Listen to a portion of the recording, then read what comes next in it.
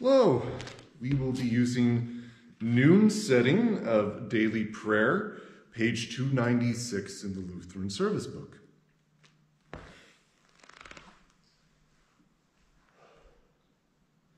In the name of the Father, and of the Son, and of the Holy Spirit. Amen. Listen to my prayer, O God. Do not ignore my plea. Hear me and answer me. Evening, morning, and noon, I cry out in distress, and he hears my voice. Cast your cares on the Lord, and he will sustain you. He will never let the righteous fall. Glory be to the Father, and to the Son, and to the Holy Spirit as it was in the beginning, is now, and will be forever. Amen.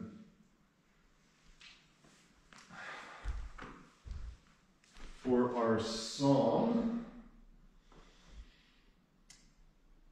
let's use Psalm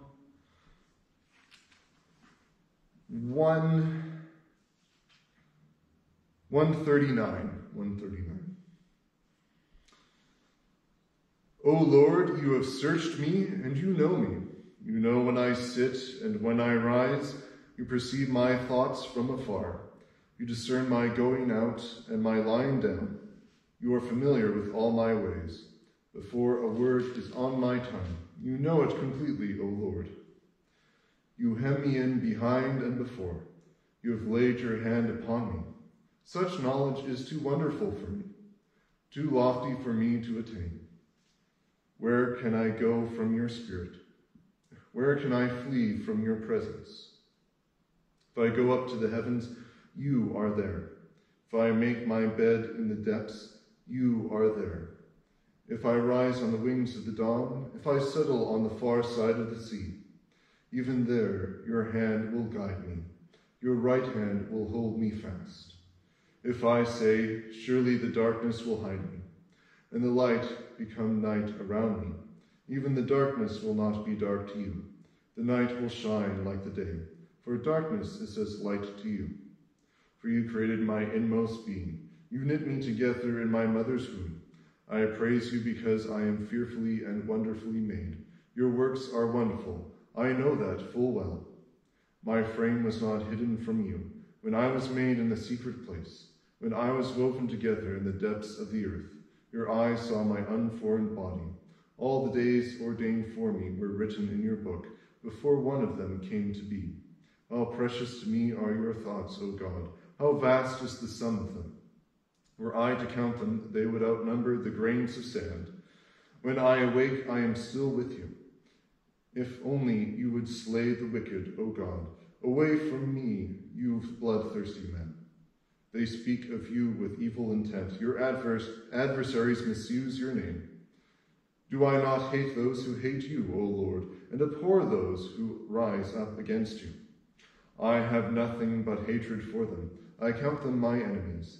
Search me, O God, to know my heart. Test me and know my anxious thoughts. See if there is any offensive way in me, and lead me in the way everlasting. Glory be to the Father, and to the Son, and to the Holy Spirit, as it was in the beginning, is now, and will be forever. Amen.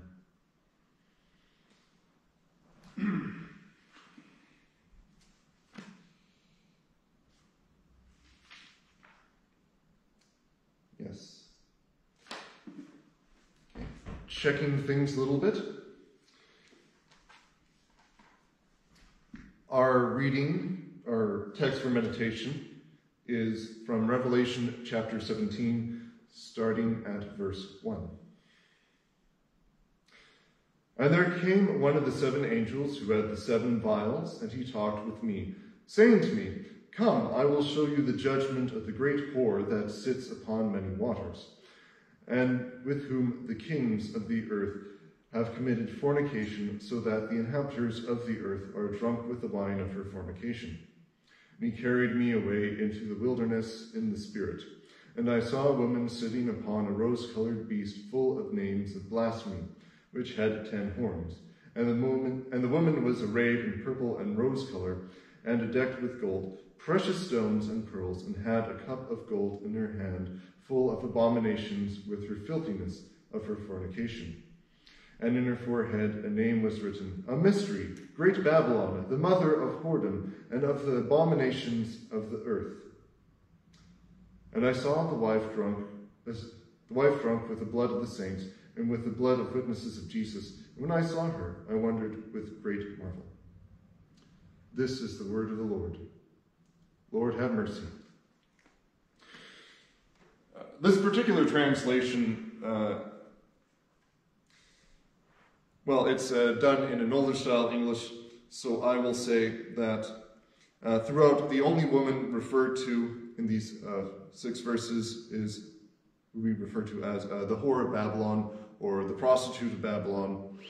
Um, uh, she is arrayed in purple and scarlet, or purple and rose color, as it says here. The beast itself is rose colored, scarlet, and uh, that's what's going on. So, John is being shown this vision of the woman. Uh, this is starting up a new section of Revelation. So you, so we had uh, the initial vision of Jesus Christ in uh, chapter 1, and Jesus then uh, told John to write down seven letters to seven churches, which was uh, chapters 2 and 3. John then was able to look into heaven uh, and uh, see uh, not only the state of heaven, the the revealedness of heaven, which is in contrast to the Old Testament. So John in Christ is able to see more than the Old Testament prophets.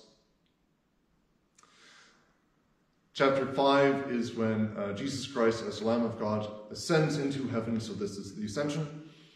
And he begins uh, the what, what we might call uh, the, uh, the end of the world. and this is more or less what goes on for the rest of the entire book is the revelations of the end of the world and the beginning of the new, heavens and the new earth. However, within that idea of uh, the destruction of the earth and the beginning of the new earth and the new heavens, there are several sections which more or less repeat. So there are three sections of seven, uh, first being seven seals, the second seven angels with trumpets, and the third seven angels with uh, vials or, or uh, cups of God's wrath. Uh, these are the plagues. So within these three groups of seven, each, each uh, each group sees the world destroyed. In between the second and third group of seven, there's a bit of an interlude, uh, historical interlude going again back to the ascension of Jesus Christ and then also forward to the end of the world, the end of Satan, beast of the sea, the beast of the earth, and uh, all their followers. So end of the world there. And then with seven, with chapter 17, uh, going on to uh, to the end of the book, actually.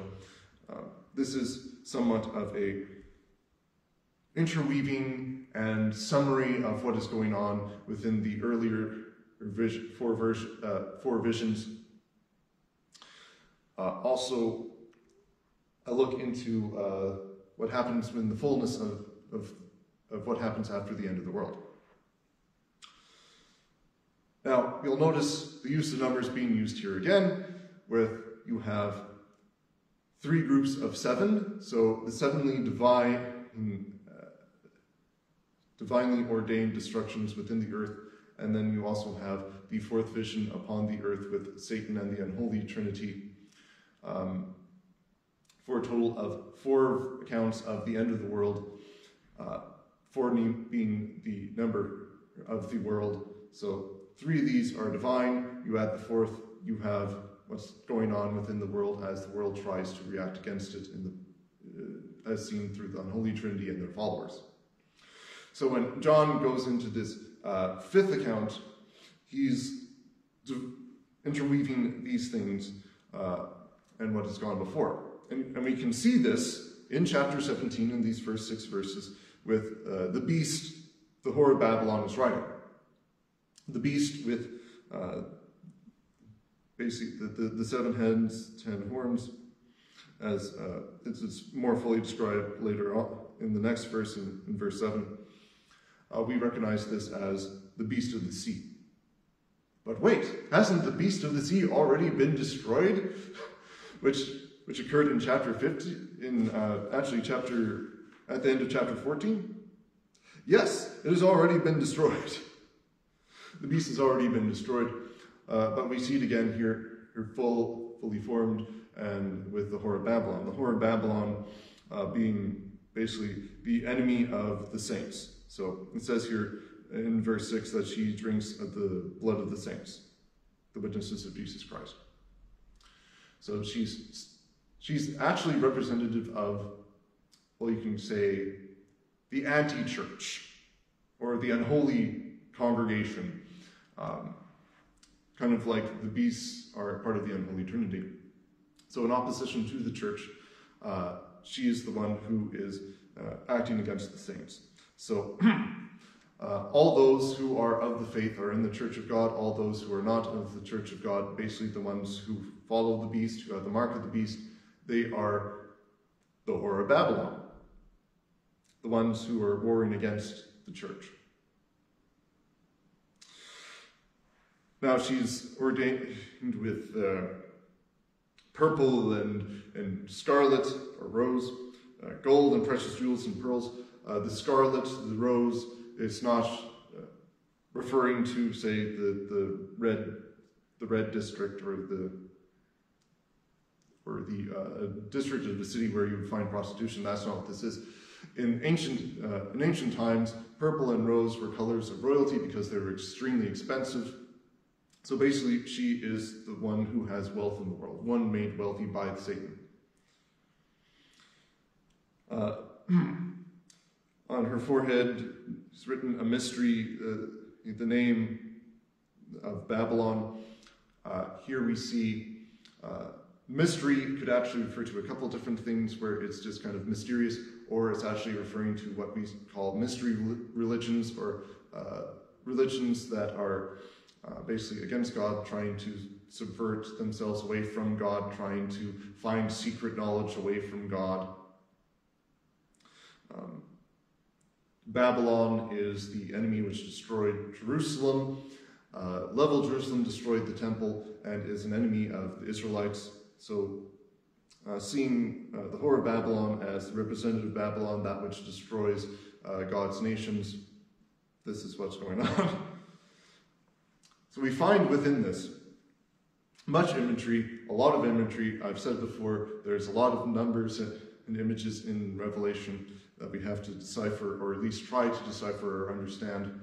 Uh, not that we can possibly understand all things that are happening in the book, but that uh, we are pointed to at various, point, at various other passages in Scripture to try and understand these things.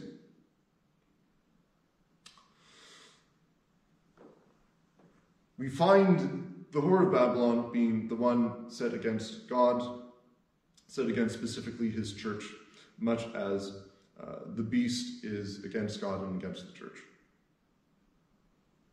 However, we know already through the various visions within the book that uh, the whore of Babylon does not win.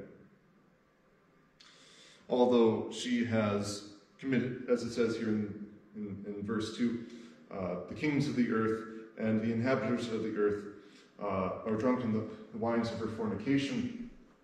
Basically, they have made themselves uh, one flesh with her, reference to uh, uh, sexual activity within the marriage relationship, so they have become one with her.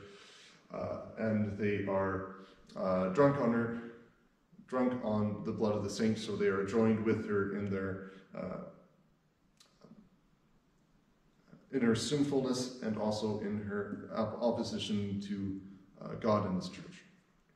However, we find that even though she is the anti-church, what is the true church? Well, the true church is, is those who are joined with Jesus Christ being made one with him by the Spirit, so that they can be ushered into the marriage feast of the Lamb, which we find much later on in future chapters.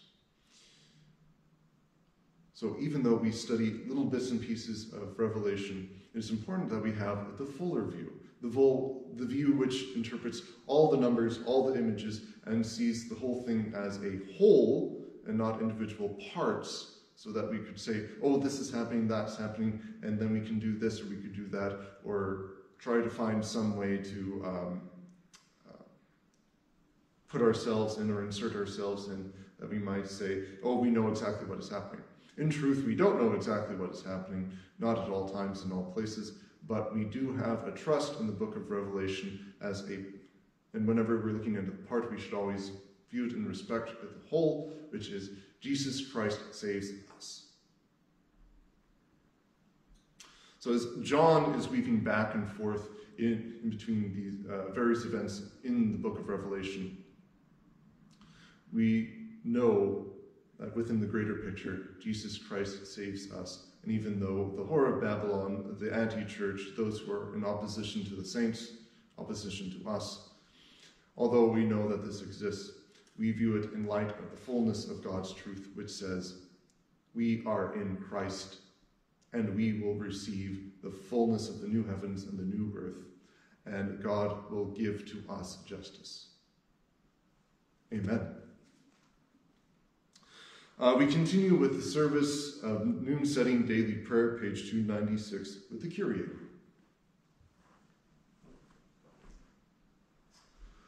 O Lord, have mercy upon us. O Christ, have mercy upon us. O Lord, have mercy upon us. Our Father, who art in heaven, hallowed be thy name. Thy kingdom come, thy will be done on earth as it is in heaven. Give us this day our daily bread, and forgive us our trespasses, as we forgive those who trespass against us. And lead us not into temptation, but deliver us from evil. For thine is the kingdom, and the power, and the glory, forever and ever. Amen.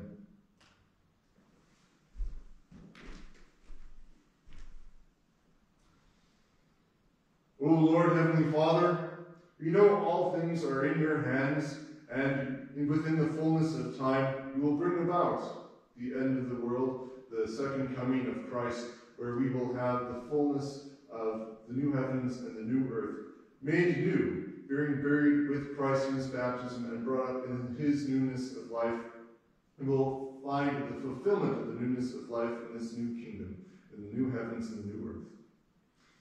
Be with us, we pray, Lord, as we but see a small bit of this uh, journey to the end within our lives. Be with us and have us view all things within our lives, whether they be as drastic as the COVID virus or as drastic as afflictions to our flesh, flesh that which uh, might uh, cause us to confront our mortality, our own death. Please, Lord, be with us and always guide us to the fullness of your vision in the person of Jesus Christ, seeing in him the new heavens and the new earth, the new creation, which is, which is begun in us and will reach fullness in the world to come. Lord, in your mercy, be with us, we pray. Amen. Blessed Lord Jesus Christ, at this hour you hung upon the cross, stretching out your loving arms to embrace the world in your death. Grant that all people of the earth may look to you and see their salvation. For your mercy's sake we pray. Amen. Let us bless the Lord. Thanks be to God.